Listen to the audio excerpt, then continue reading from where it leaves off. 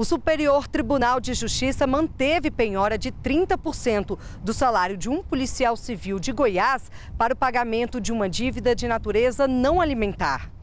No caso analisado, o Tribunal de Justiça de Goiás flexibilizou a regra prevista no artigo 649 do Código de Processo Civil de 1973, que trata da impenhorabilidade das verbas salariais.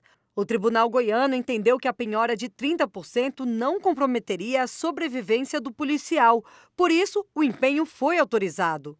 Segundo o policial, o salário mensal de R$ 3.600 já era comprometido com uma pensão de R$ 1.100 para a filha e com pagamentos fixos de plano de saúde, financiamento de imóvel e veículo, sobrando apenas R$ 1.000 para as despesas alimentares.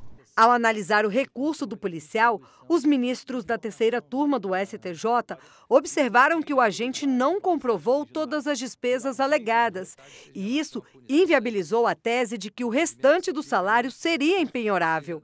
A relatora do recurso, ministra Nancy Andrighi, explicou que a impenhorabilidade prevista em lei é relativa e cabe à instância de origem, nesses casos, verificar se a penhora é possível sem afetar o mínimo necessário para o sustento do policial.